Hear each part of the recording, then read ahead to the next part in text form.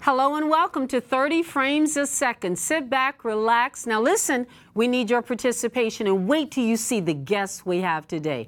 30 Frames a Second, Take Over Tuesday. Ladies, take over. Nat, you know what you're to do. Let's start this show. Honey, get in here. There, look at this. You may write me down in history with your bitter, twisted lies. You may trod me in the very dirt, but still like dust, I'll rise. Gail Okay, you got it. No problem. Just like suns and like moons, with the certainty of times. Just like hope springing high, still I rise.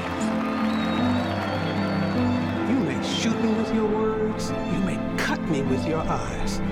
You may kill me with your hatefulness. But still, like air, we rise.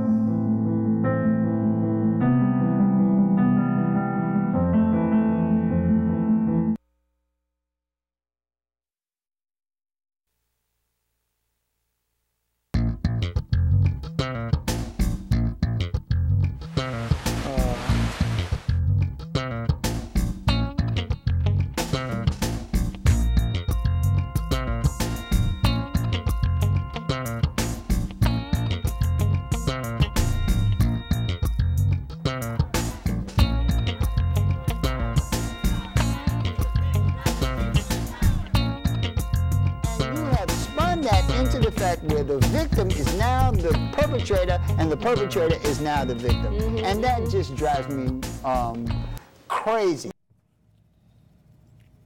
That's not the only thing that drives him crazy. This table of women have driven him crazy on occasion. But guess what? We have a new one to add to the list today.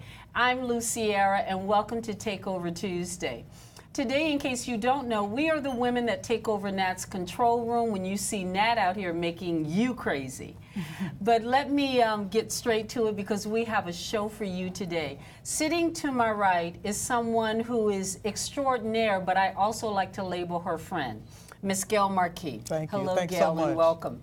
A little bit about Gail for those of you who will be phoning in. She's an Olympian champion receiving the silver medal, am I correct? Yes, indeed. Yes, in basketball. Woo, woo, woo.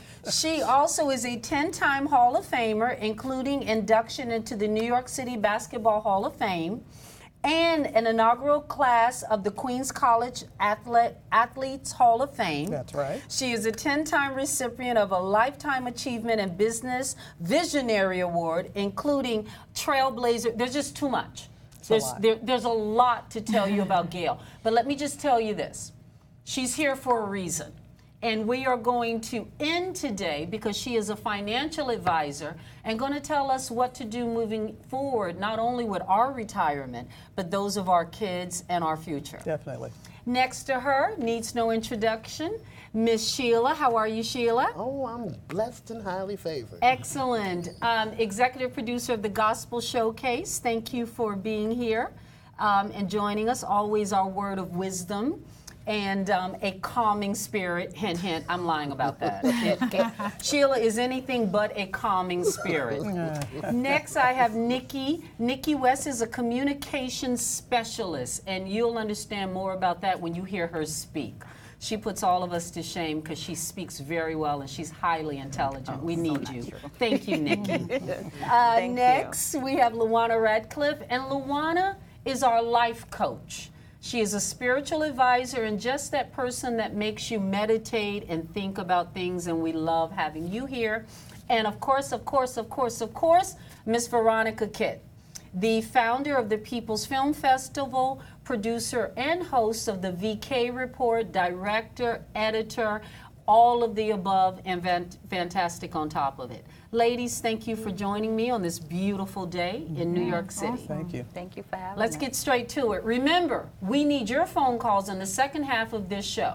So listen carefully, take notes, um, try not to drink, those of you who do. no, I'm just kidding. Make yourself happy. Life is too short. and um, call in on the second half. We need you. Let's start with everything going on in the Olympics because we have you here. Tell us about the whole finascal, your opinion on what happened in Brazil, and should this swimmer have to go back and face charges? And Well, you know, I always look on the positive side. I think it was a, a great event. We heard so much of the negative press leading up to it. Brazil couldn't do this, and the waters were this, and I don't think there's accommodations of this. But ultimately, when you get to the Olympic Games, I'm glad they made it back about the athletes. It was about the athletes. You stay focused on them. We had some great performances from the two Simones. You have to Yeah. love them. Yeah. One in the pool and one on gymnastics. Yes. You have First the first female woman, swim- black first African-American swimmer. swimmers. You, you also have uh, the young lady who won with the hijab on. She won a bronze medal for, Maplewood, fencing. For fencing. For fencing, no Wow. less. You have the Wow. you have the excitable Laurie Hernandez, uh, who also another gold medal. She's from New Jersey. The track and field. There were three ladies who came in one, two, three on the hurdles, 110 hurdles. Mm. Gold, mm-hmm. silver, bronze. Never happened before. Allyson Felix and and uh, Katie Ledecky in the pools. That's where my focus remains. And and even the great Michael Phelps. He just seemed mm-hmm. mm-hmm. so at ease. Yeah. So at ease, so calm. how many awards now? How many? 24, 25. 25, But you know, once you get past one, Once you get past it. 20? Oh, okay. Got it. So for me, there's the there's a there's the the Brian Le- Ledeckis and his incidents. See, you can always find the bad ones. Uh, the young lady Hope Solo from soccer. You know, she was just a sore loser. I didn't think she needed to be uh, banned for six months. You know, you get pissed off when you lose. That's good. But uh, for me, I stay focused on on the athletes and, and how they are doing and their awards and how they're presented. I thought it was a great Olympics. Yeah.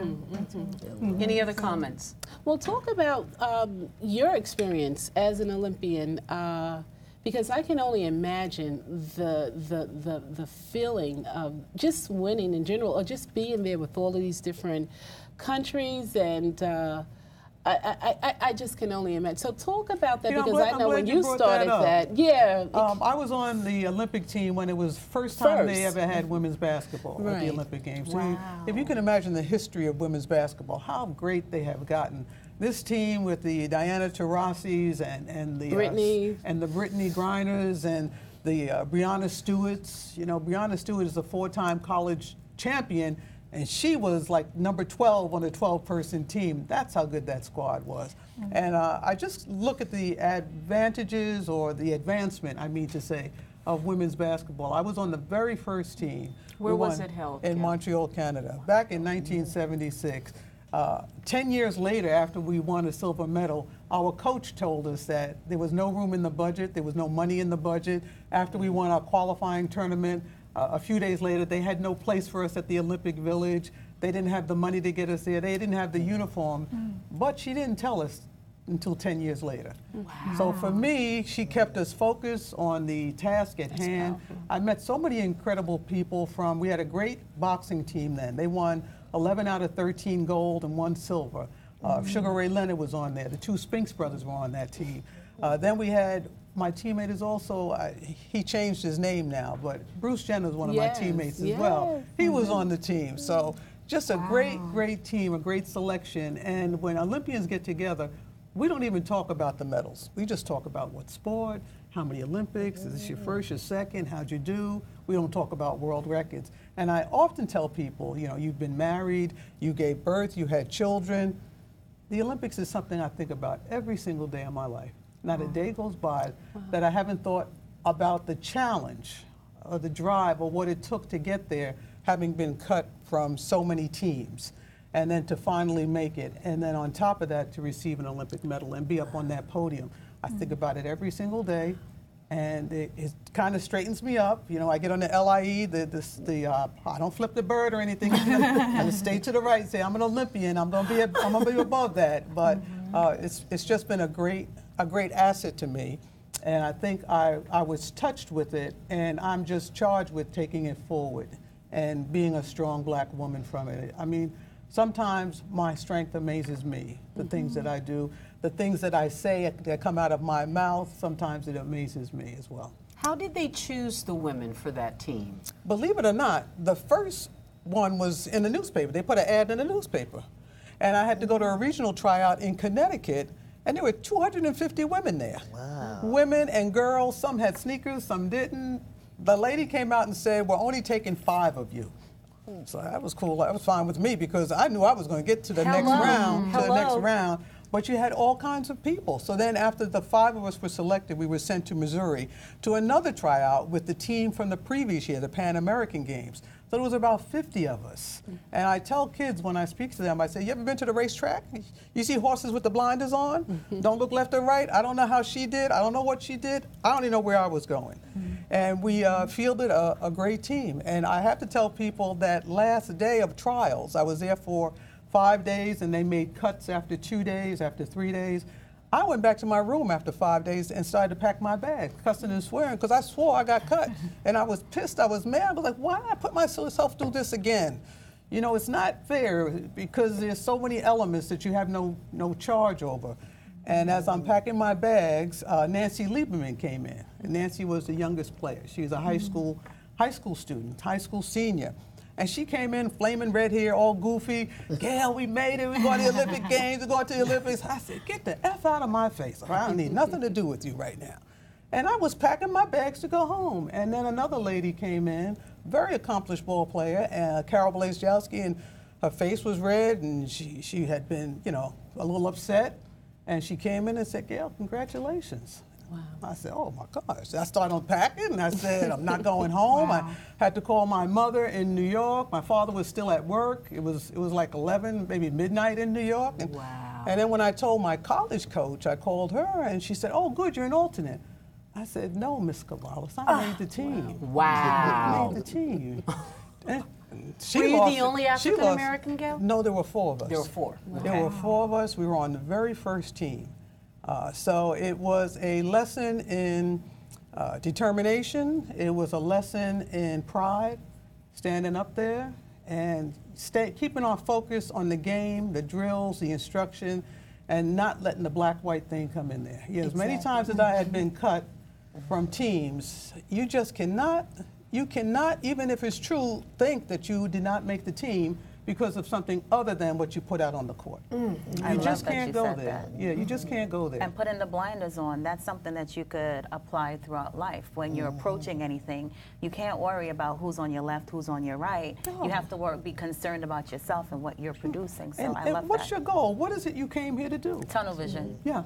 Yeah. Yeah, it's not selfish. That's the way you get forward and just keep your focus. So uh, uh, it just takes so much away from that Olympic experience. And this is my 40th year, believe it or not, when they call to tell me to do things. It's your 40th anniversary. What do you think? I said, 40? Where did that come from? and it just kind of snuck up, you know, it slaps you in the back of the head. I said, oh my goodness. And in essence, we've sort, it's sort of uh, stood the test of time. I look at the accomplishments of all of our different great athletes, our teams that we have. They've just done, done so well. So I'm so proud of all of them. So does the accomplishment, the euphoria of the accomplishment, because I'm kind of going back to the whole Lochte events, and you know, you just said the feeling of pride.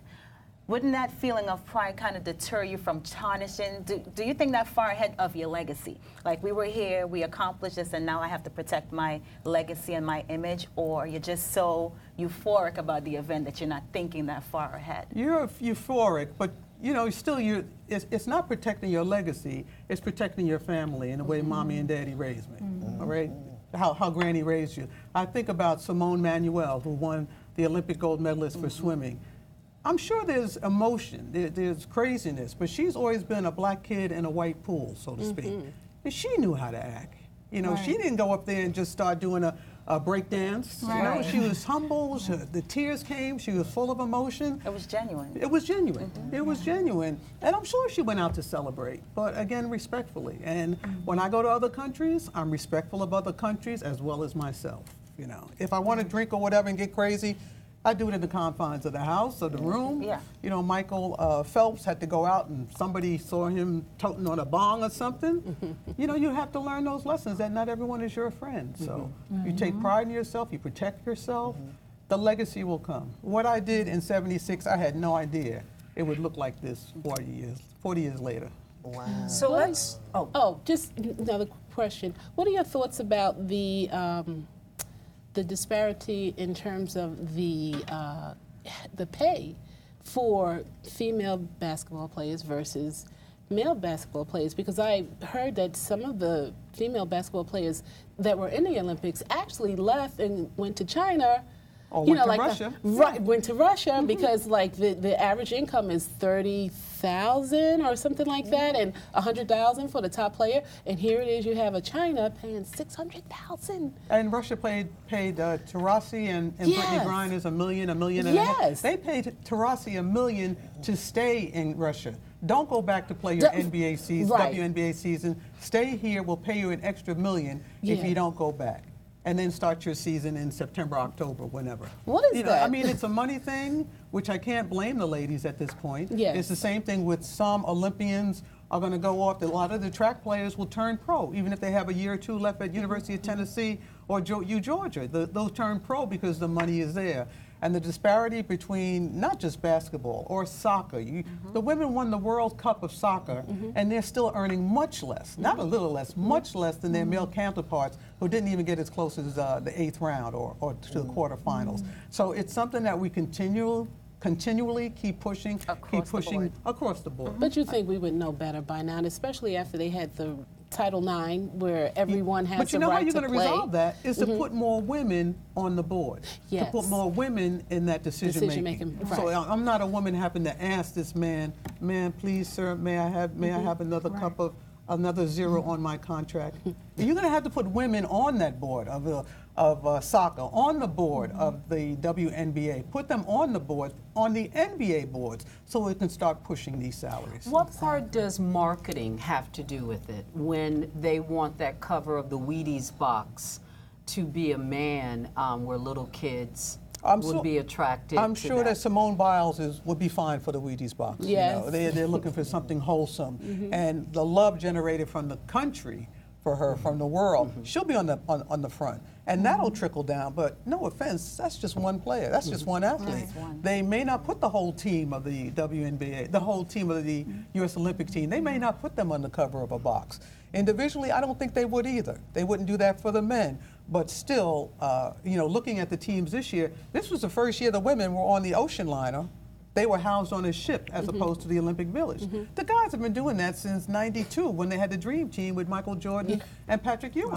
They've been on a ship off the coast of.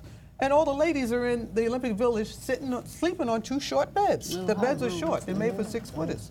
So there's been that disparity. And not until you get more women sitting on the boards of these money ideas, money uh, doling out. And, and it's the same thing whether we're talking Olympic and sports or whether we're talking sitting on the, on uh, the salary desk for a Merrill Lynch or a Bank of America or a Ford Foundation. It's the same thing, you, or a Ford company, not the foundation. Uh, uh, but you have to get more women in that place.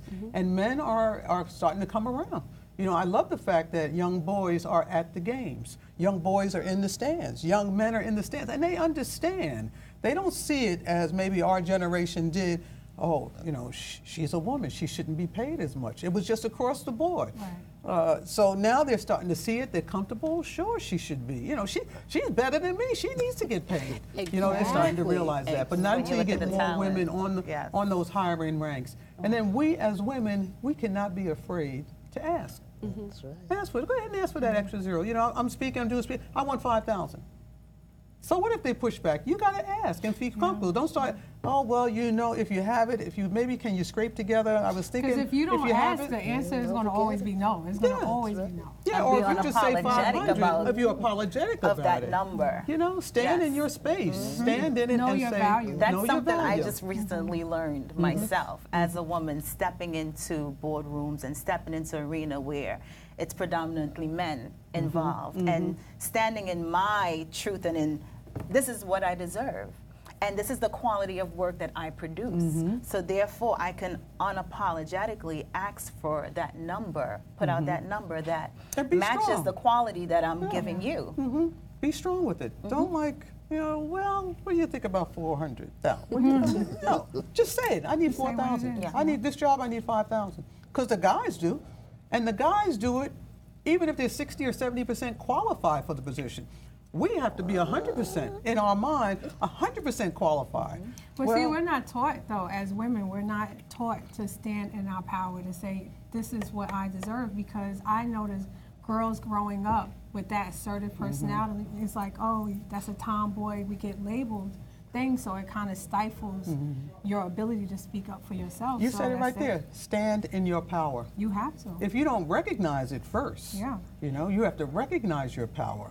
Stand in it, don't apologize. And like you say, yeah, we, we get called names or mm-hmm. labeled as aggressive. names. I'm aggressive. constantly be- being told that. so you're If it were a very man, you would not be aggressive. You're so You'd be a hustler. You'd be a go-getter. You'd mm-hmm. be And a that word, I it your really drive. starts You to love your drive. Like, the Yeah. aggressive, everything, so you're aggressive. self-motivated. You're so Yeah. focused, I am yeah. quite fortunate that in the career that I chose at a very young age, the word no could not scare me.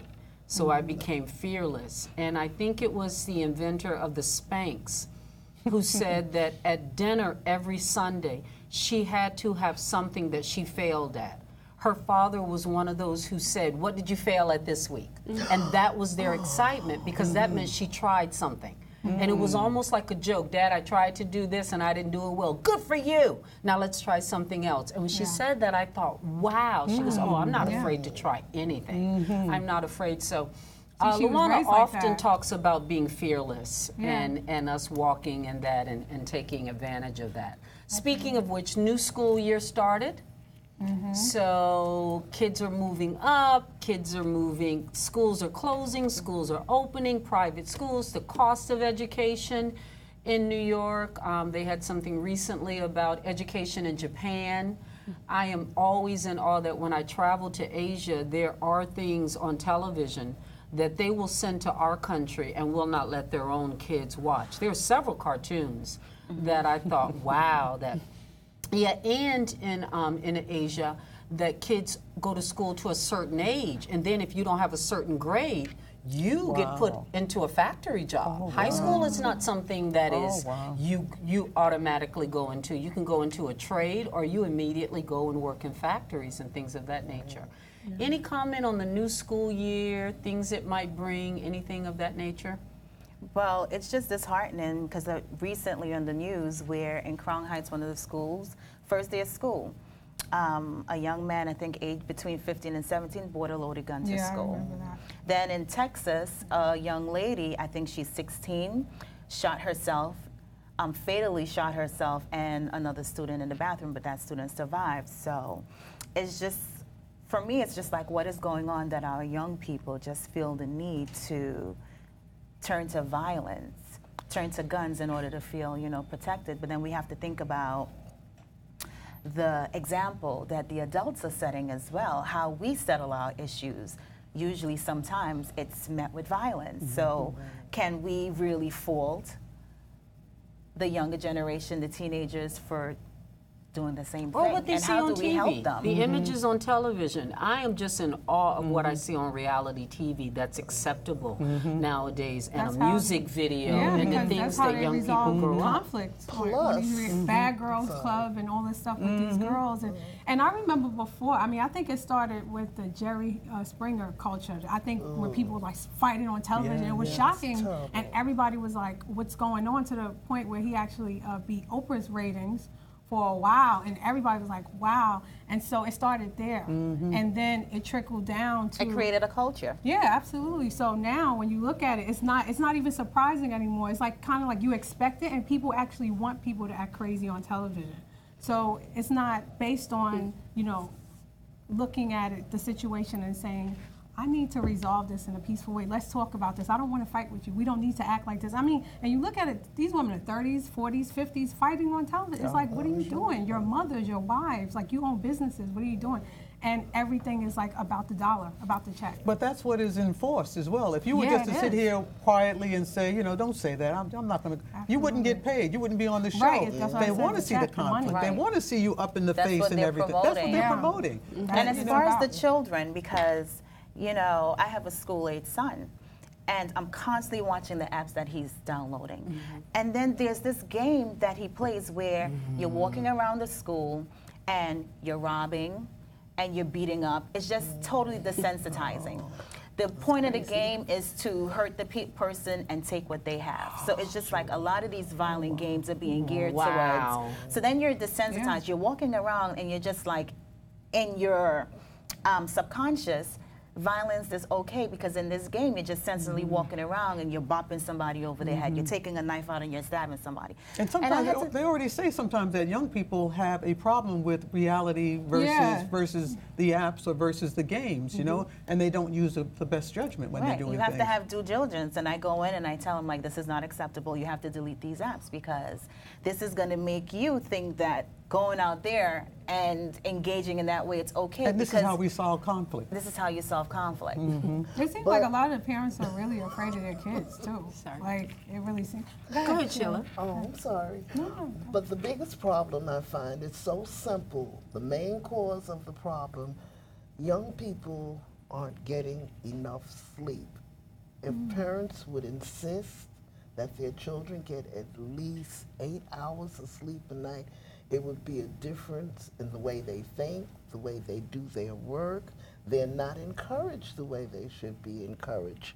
Uh, it's a thing going on where children, uh, one set of children don't want to see the next set of children learn anything at all. It's a disgrace that children is afraid to pass because they may get beat up. I think it's, mm-hmm. it's what you just said that the parents need to be parents. Yeah, you they don't have to do. be my friend, but you got to be my parent. Absolutely. Got to You be your need to parent. be- I have a friend who I think this was like last month. She said that her son, she asked him to clean up the house, and she came home from work. That, that I think he's about 14, 15, and she was like, "You didn't clean up," and so he's on the phone, like playing some game, and she took the phone.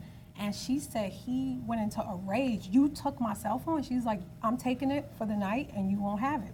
And so she hid it somewhere in the house and he tore up the house looking for the cell. He broke oh. her mirror. He ripped up some of her paperwork.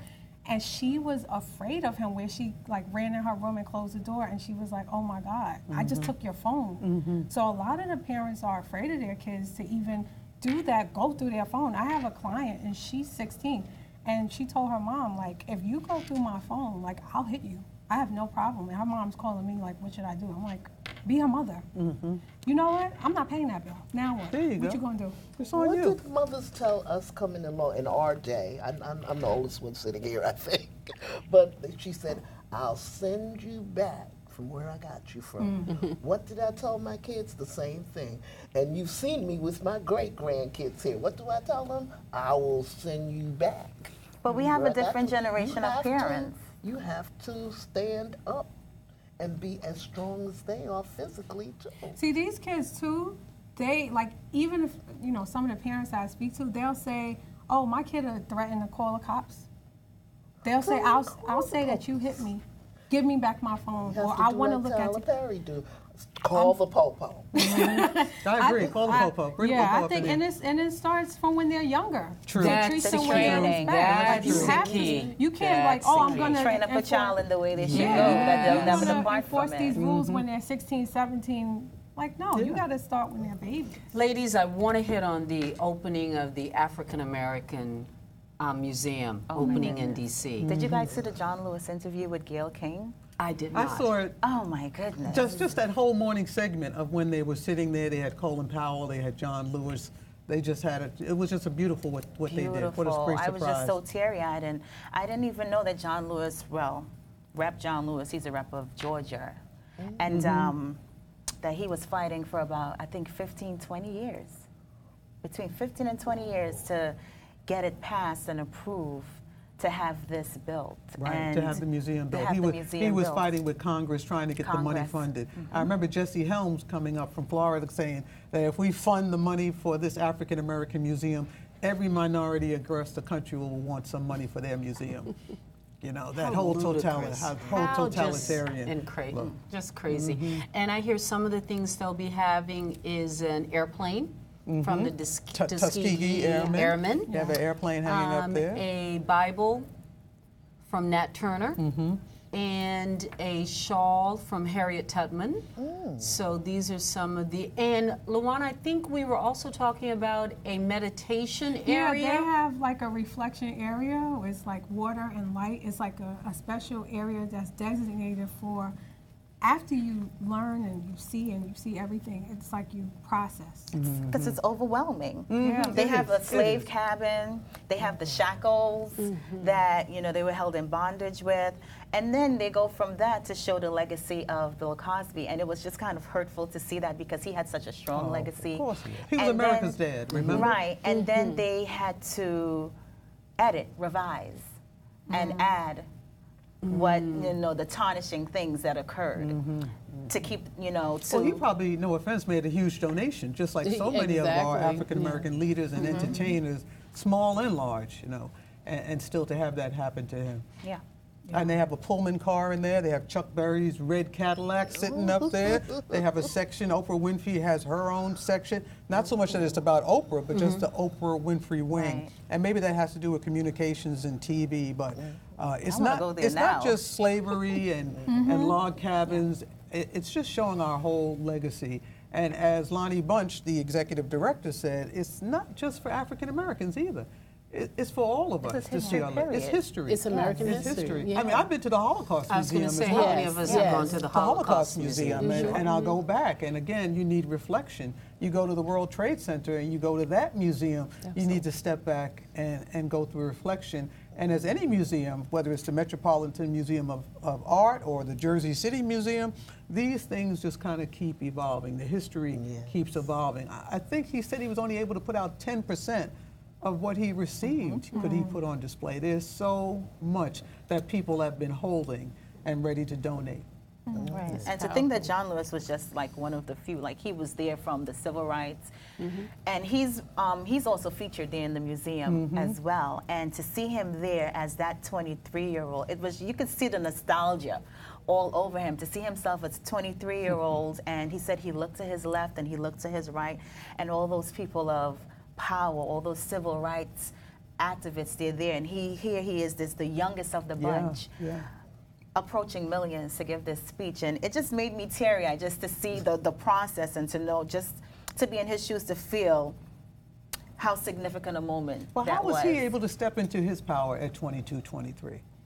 How was he able to do that? They spoke a little about that too because they also had a mugshot of him.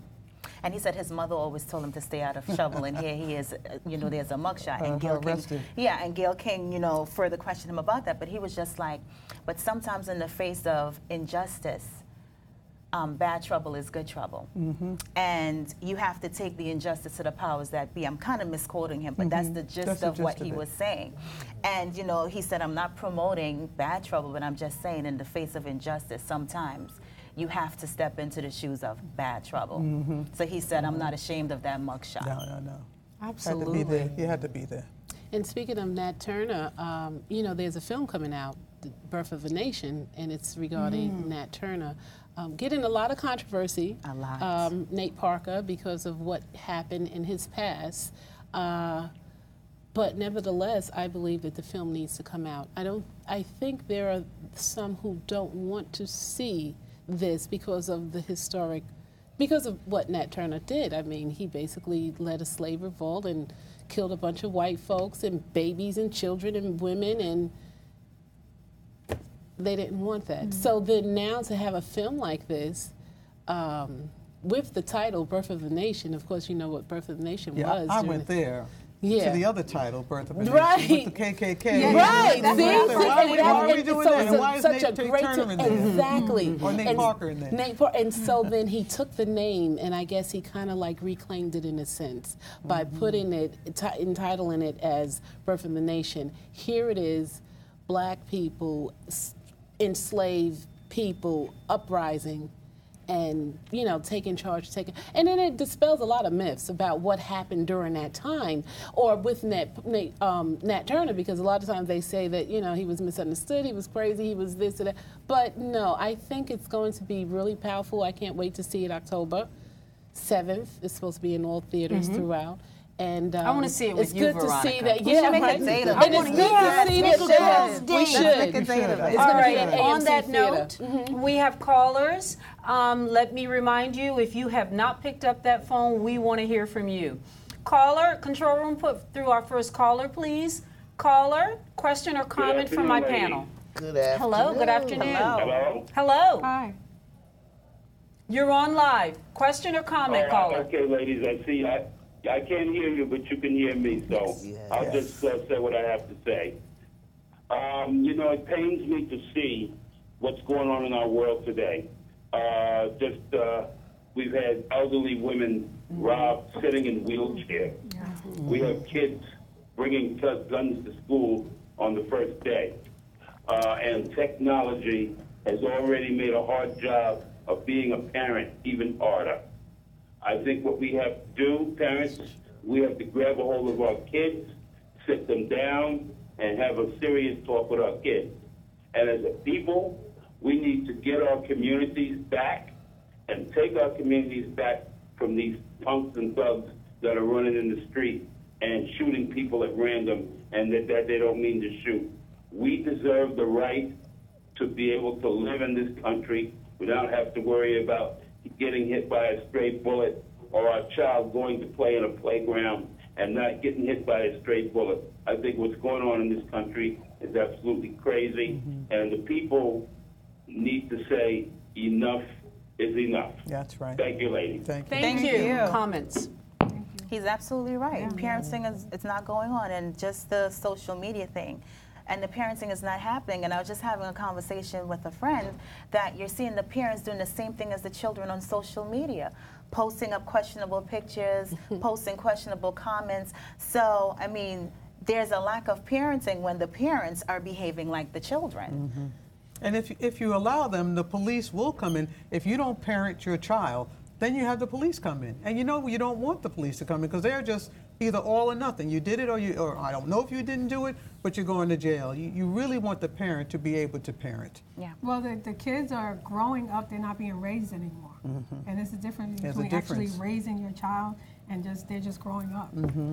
Mm-hmm. Uh, maybe it comes from the two parent uh, household, or not two parent, but the two parents working. You know, I grew up where my mom was at home. When I came home from school at 3 o'clock, she was there. I didn't have a key to my house probably till I was going to college, like 20 years old even. I finally got a key because there was always somebody there. Right. And, and, you know, parents were there. They wanted to hear what you had to say. Dinner was at the table. Mm-hmm. Even during the week, mm-hmm. dinner was at the mm-hmm. table. Turn off the TV. And, and it wasn't like the TV was our monitor or our babysitter.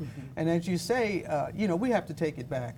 And I, I understand that children children want to be raised. They want to be they want to be discipline might be the wrong word, but they want boundaries. Thank you. What can I Exactly, do? they They want do. boundaries. And They they want want to know how far they is too want more far. attention also.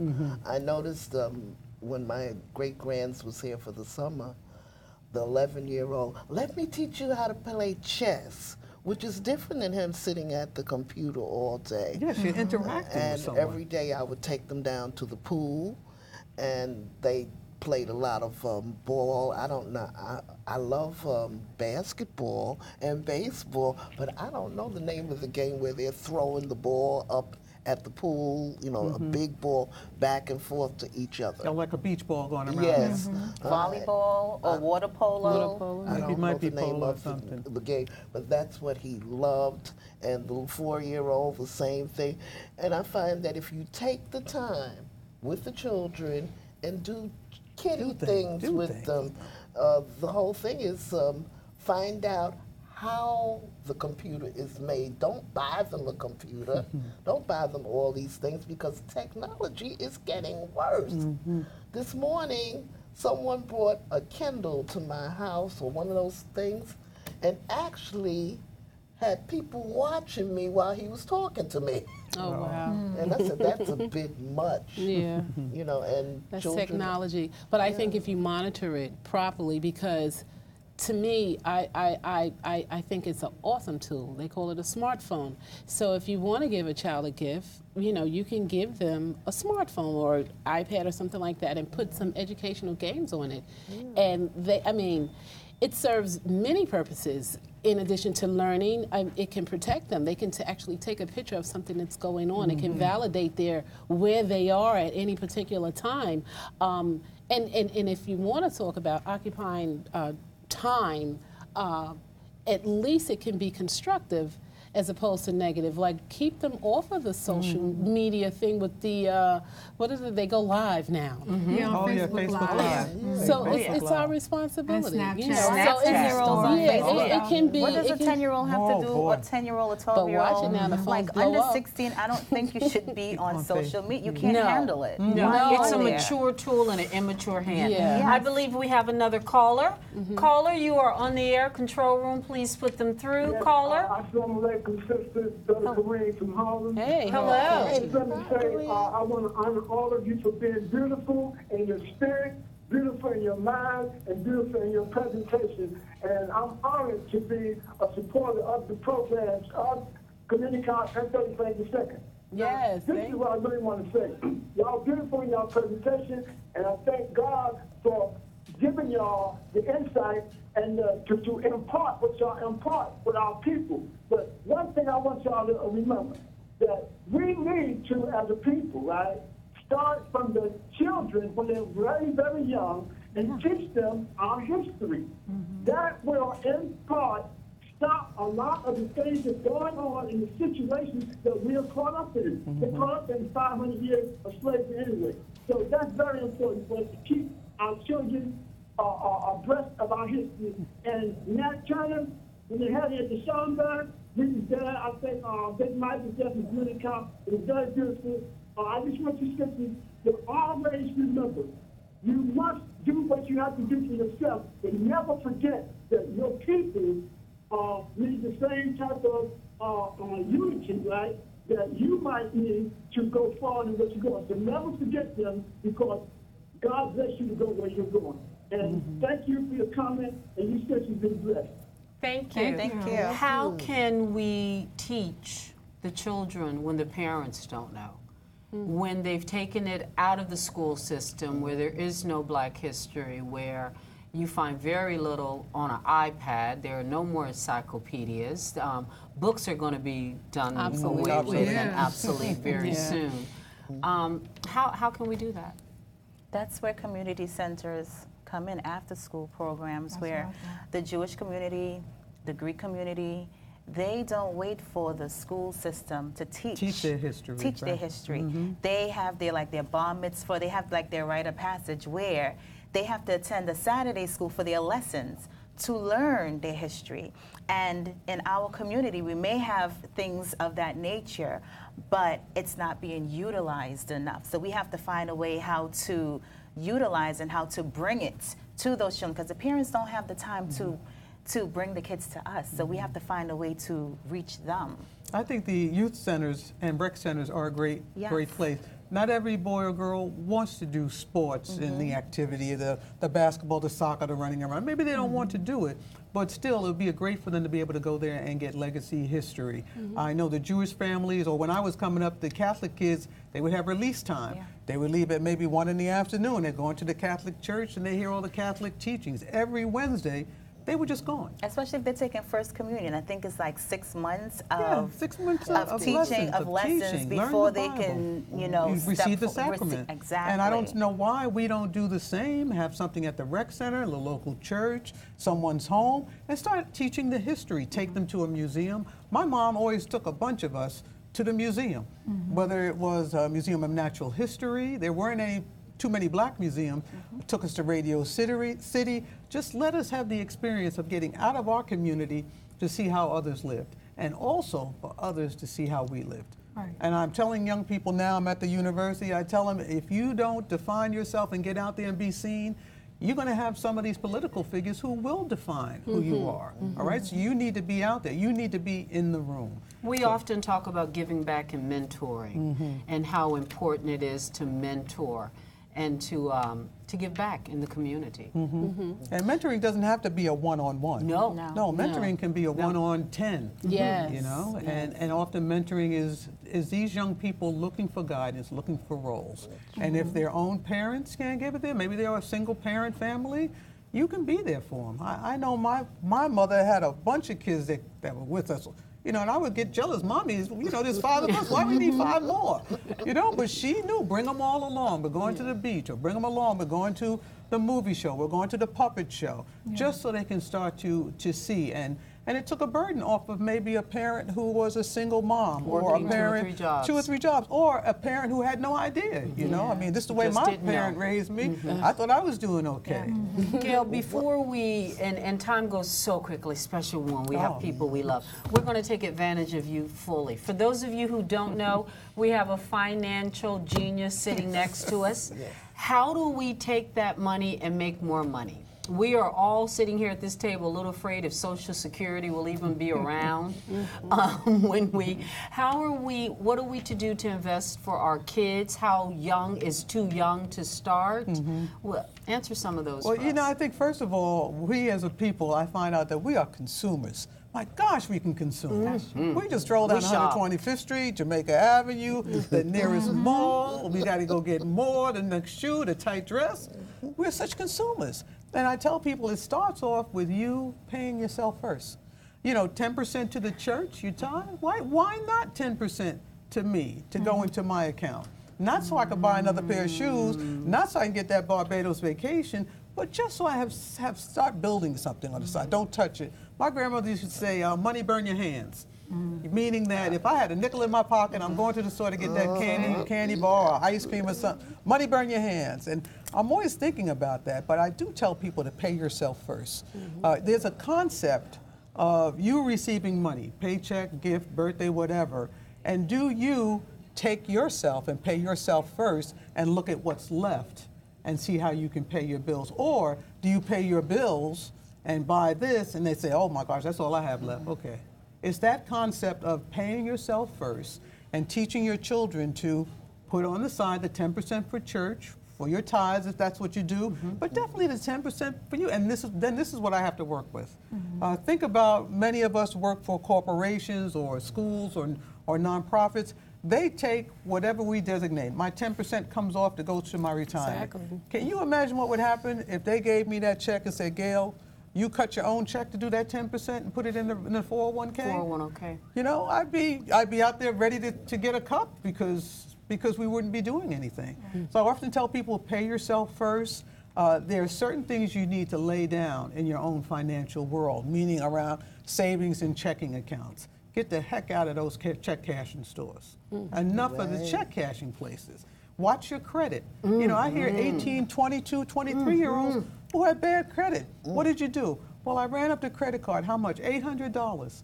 First of all, I don't know why you have a credit card. You just got that little minimum wage job. But then $800 isn't that bad that you can't do a payment plan of 25 or $50 to clear and keep your good name so that when you want to go rent an apartment, you know, you're not at a, at a 300 credit rating. You're at a 600. You don't haven't borrowed a whole lot of money. You might be at 600 or 650, but it's something that you can catch early. Your credit, your credit ratings. Get into the habit of paying cash. Yes. You know? Yes. Yes. There's a lesson I, I do, even for myself, is you, you, you're paid. Uh, I pay myself, so I got some money in my pocket, and that's it. That's it for the That's week. it. I'm but not now running. you're penalized for paying cash. There's several places that I've gone into, and it was just like I have cash, and then they'll say, well, if you're paying cash, then it's a five dollar fee, or it's a three dollar fee. and turn because you're yourself not around and using- go right I've on up done the that street. as well. Yeah, Yes. Thank you very much. Yeah, mm-hmm. bye. Thank you Yeah. very much. You know, they even put some some businesses put the the paycheck on a debit card. I think if you're on WIC or some of these other programs, your funds are on a card. If you try to, to tap your card to find out your balance, you're charged a fee. To, uh, mm-hmm. to take the money out, you're mm-hmm. charging a fee. If mm-hmm. money is wi- over withdrawn or under withdrawn, you're charged a fee, all based on this card. You got to get away from the card. And then as we, we move forward, I talk about the retirement, paying yourself every, every week, every time you get paid, uh, putting certain things in place, the savings, the checking account, start planning now. And when it gets to your, educa- your, your children's education, you may not be able to fund the whole thing. Maybe you can fund 10%, but with a couple of student loans here or here, and a lot of schools and universities are finding ways, you know, maybe he won't go to Harvard or maybe he won't go to the University of. There's plenty within the city university system.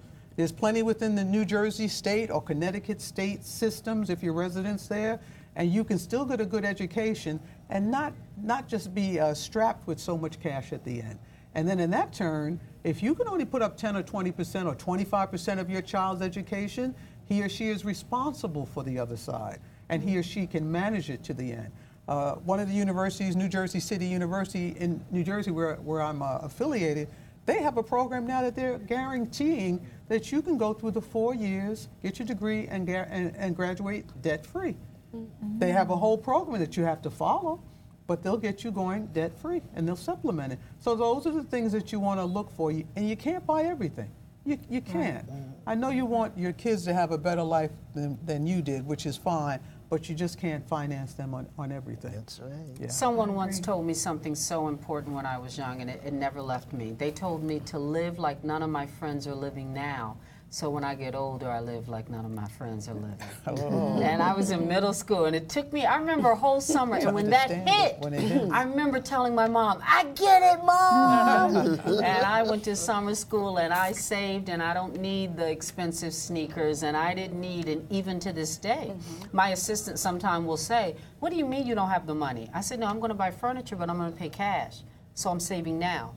I'm mm-hmm. putting in new windows soon in my, my um, brownstone. Mm-hmm. I'm paying cash because I started to save and I'm doing that. I've had one credit card my whole life. I've had one credit card, one that has to be mm-hmm. paid off at that time. I don't understand the interest and, and things like that. So I don't I'm with you. I have one credit card and I pay it off every month. And please, I'm not, I'm no saint. I've been down the street where I had five or six from Bloomingdale's to the little shoe store down there and, and uh, Home Depot. I've, I've been through that already. So I'm able to come back and just stay with the one card and just pay it off. I don't think I've had a single finance charge on that card. And, and it's a lesson. It's something for you to learn. But um, our, our children watch us. When we grew up, uh, before the ATMs and all of that online stuff, my father was here, my mother was here with the checkbook. I sat over there, and my father would dictate to her, my mother, to write the check. She had a better handwriting. But you saw mom writing out the Con Ed mm-hmm. bill, mm-hmm. and you know, tear the check off, mm-hmm. check the numbers, Salatio. Okay, How much is in there? And how much is in there? What's next? You know, we I sat there and watched mom write out the check, stuff the envelope, and how much we got left. Okay, good, we can go, kind of thing. So you know, I had a semblance of you're not going to live more than what you have, and if we just keep give, give, giving our children, they'll think, well, you got deep pockets. Yeah. It's And the unlimited. world deserves to give. Right. Then everybody owes me. When you talked about boundaries, if mom and dad don't set those boundaries, then I don't understand why my landlord thinks I should pay the rent every month when I wanted those new shoes. And I don't understand why my boss wrote me up when I don't like getting up that early in the morning. And I feel better when I don't get up. So when boundaries aren't set, we are running really low on time. But. I have a question Yes. for her because one of the things you mentioned, I was reading up on you. You said that you um, talk about your transition from sports into the uh, into the world of finance, and you said that because it was, I think you said competitive. It was competitive. Yeah, and Well- so when we say competitive, well, you tell me because when, I'm when I wondering which- came out of the Olympics, I'm play, I played my four years of college, and uh, I didn't even graduate at that time in '76. I went right to the Olympics. I didn't do any of the final exams because I went to try out for the team. I made the team and stayed with the team three months. So I didn't graduate. I had a bunch of incompletes. I was halfway pissed also because on the other side of the court is the Scotty Mays and the and the Quinn Buckners from Ohio State and from Duke and from North Carolina, and you know they just passed along. And their first round draft choices with the NBA, they got money contracts. I got debts. I ended up going to France because I still wanted to play. And mm-hmm. even when I came back, I was just a little ticked, a little angry. Mm-hmm. Right. And that, that little angry, that little tick didn't allow me just to go and do the student teaching at the local middle school or local junior high school. I said, I'm going to Wall Big, Street. I didn't even have a business degree. I just felt the pull of one, wanting to make more money, two, wanting to be in that arena, almost being somewhere where somebody doesn't want you and just But proving it's yourself. male dominated, I and so know. versus mm-hmm. sports, and the, so that's why I want to know the gender. Oh, I wore right, blue, blue right. suits all the time Yeah, because they like to see so blue that's the and a compe- blue yeah. shirt. You know, I just played along. That was my uniform. Yes. And got in there and was able to talk and understand. Uh, I didn't cuss with them at all, and I kind of kept them on an even keel. There Mm-hmm. Yeah. was so many. Oh, I'm sorry. I'm, there's a- oh, I'm sorry. You know what I mean? Yeah, and they were real always misogyn- apologizing to me, but they would still keep cussing and everything. But I was learning so much. I was in some place, and I got, I got a lot of doors slammed in my faces. They weren't always nice. But again, I was in the room, and I just wanted to be in there. I couldn't get to the NBA.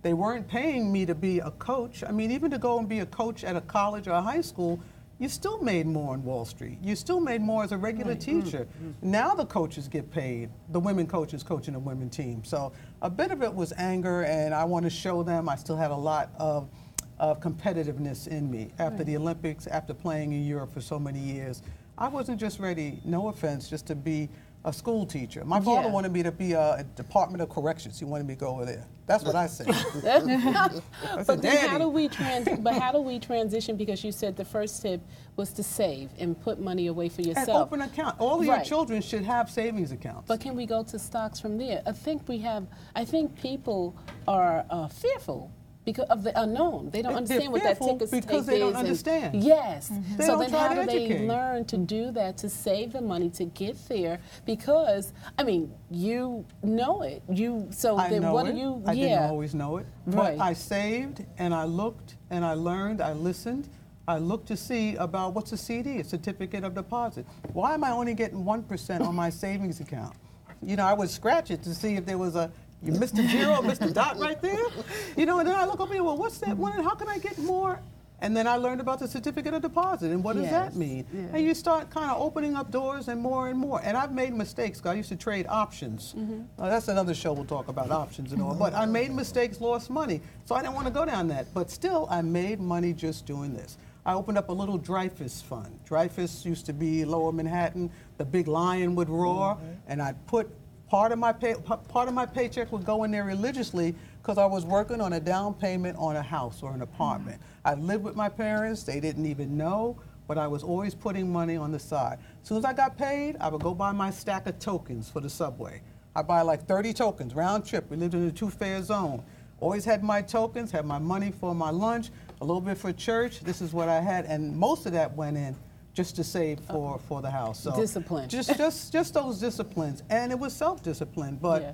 I had a savings account from when I was five years old in Oh, wow. school. Mom had us with little accounts. Yeah. Wow. That's- We have to, we have to, oh, I hate it when know, we we have need to another hour. And we need another hour. We need another hour. We hope you have enjoyed this show. Um, all I can say is we enjoyed having you with us. Please come back. We think we'll be back in November. Of course, Nat may need us sooner because he needs us often. I think you can tell that. Gail, we thank you so, you so much, much. for Thanks, coming. Thank you. Thank you. Thank you. Thank you so much for coming. Enjoy the remainder of your summer. You're watching 30 frames a second. Takeover Tuesday. We'll be back.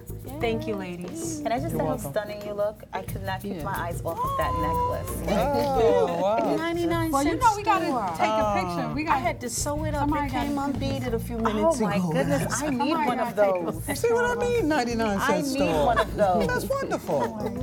I'm always need a group asking her, photo. you know, what We is she do. doing? Yeah, I need a picture too We this need like a group I am photo. definitely, yeah, we need a group photo. I'm still on. You're just a wealth of information. Yes. Yeah, You need she to is. tell that. Yeah, I, I love that commercial. I was so inspired, especially when it ended and you said, I, you know, Maya Angelou. I, I was like, wow. Well, you know, And so all when of it us came stop out, we when just, we hear Maya. yes.